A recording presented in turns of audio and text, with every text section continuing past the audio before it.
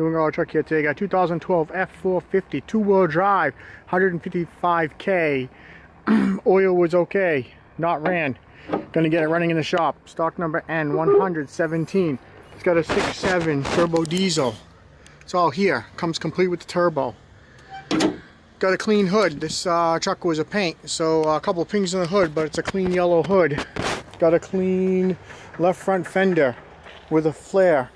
Got the um, mono beam in the front, left rear suspension complete. Got a clean left front door, painted, got some stickers on it. Got a manual mirror. Got some running boards if you're looking for them.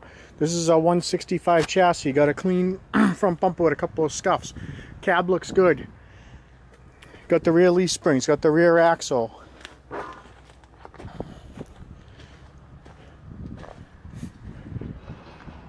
The springs are 10 plus 1.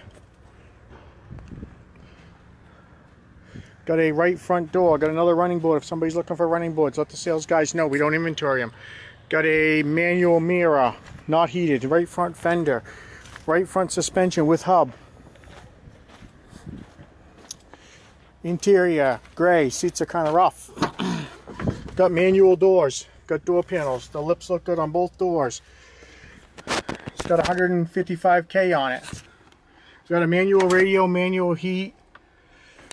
I got a XL black grill, but it's got some holes in it, but it'll fill a hole. If you're looking for a, a grill, we'll give you a good deal. Got clean headlights. They'll be in the warehouse right and left. Got a radiator support. Got the roof lights. If you need any parts off this F450, give my sales guys a call. We've got to tell you some stuff. Have a great day.